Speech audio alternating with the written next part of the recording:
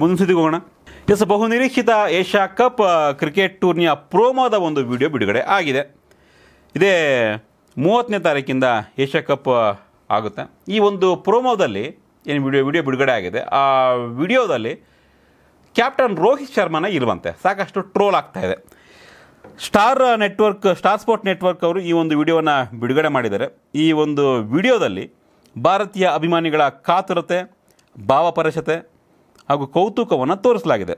ವಿಶೇಷ ಅಂದರೆ ಈ ರೋಚಕ ಕ್ಷಣಗಳ ನಡುವೆ ಟೀಮ್ ಇಂಡಿಯಾ ಮಾಜಿ ಕ್ಯಾಪ್ಟನ್ ವಿರಾಟ್ ಕೊಹ್ಲಿ ಕೂಡ ಕಾಣಿಸ್ಕೊಂಡಿದ್ದಾರೆ. ಆದರೆ ಪ್ರೆಸೆಂಟ್ ಕ್ಯಾಪ್ಟನ್ ನಾಯಕ ರೋಹಿತ್ ಶರ್ಮಾ ಯಾವುದೇ ಕ್ಲಿಪ್ನಲ್ಲಿ ಇಲ್ಲ. ಯಾಕೆ ಅನ್ನೋದು ಈಗ ಸದ್ಯ ಚರ್ಚೆ. ಈಗ ಬಿಡುಗಡೆ ಆಗಿರ್ತಕ್ಕಂಥ ವಿಡಿಯೋ ವಿಚಾರವಾಗಿ ಟೀಮ್ ಇಂಡಿಯಾ ನಾಯಕ ರೋಹಿತ್ ಶರ್ಮಾ ಅವರು ಎಲ್ಲಿ ಅಂತ ಅಭಿಮಾನಿಗಳು ಪ್ರಶ್ನೆಯನ್ನು ಮಾಡ್ತಾ ಇದ್ದಾರೆ. ಸಾಮಾನ್ಯವಾಗಿ ಆಯಾ ದೇಶದ ನಾಯಕರುಗಳನ್ನು ಟೂರ್ನಿಯ ಪ್ರೋಮೋ ವಿಡಿಯೋದಲ್ಲಿ ಬಳಸ್ಕೊಳ್ಳಲಾಗುತ್ತೆ. ಆದರೆ ಈ ಬಾರಿ ಸ್ಟಾರ್ ಸ್ಪೋರ್ಟ್ಸ್ ಬಿಡುಗಡೆ ಮಾಡಿರುವ ಈ ವಿಡಿಯೋದಲ್ಲಿ ಮತ್ತು ಪೋಸ್ಟರ್ನಲ್ಲಿ ಭಾರತ ತಂಡದ ನಾಯಕ ರೋಹಿತ್ ಶರ್ಮಾಗೆ ಸ್ಥಾನ ನೀಡಿಲ್ಲ ಅನ್ನೋದೇ ಚರ್ಚೆ ಆಗ್ತಿದೆ.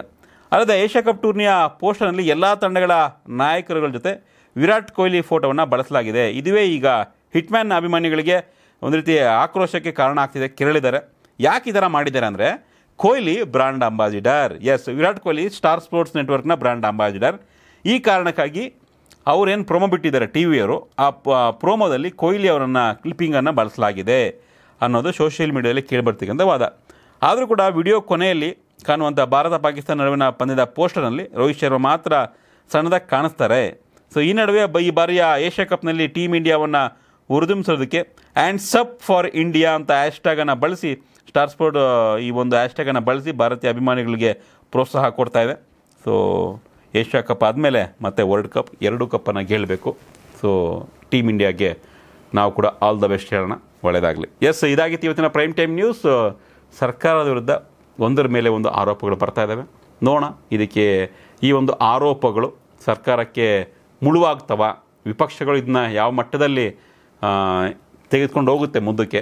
ವೆಯ್ಟ್ ಮಾಡೋಣ. ಮತ್ತಷ್ಟು ಸುದ್ದಿಯನ್ನು ನಿಮಗೆ ಕೊಡುವಂಥ ಪ್ರಯತ್ನ ಮಾಡ್ತಾ ಇರ್ತೀವಿ. ಇದಾಗಿತ್ತು ಇವತ್ತಿನ ಪ್ರೈಮ್ ಟೈಮ್ ನ್ಯೂಸ್ ಹೇಗಿತ್ತು? ಕಮೆಂಟ್ ಮಾಡಿ ತಿಳಿಸಿ. ಧನ್ಯವಾದಗಳು. ಕರ್ನಾಟಕ ಟಿ ವಿ ಇದು ಕನ್ನಡಿಗರ ಧ್ವನಿ.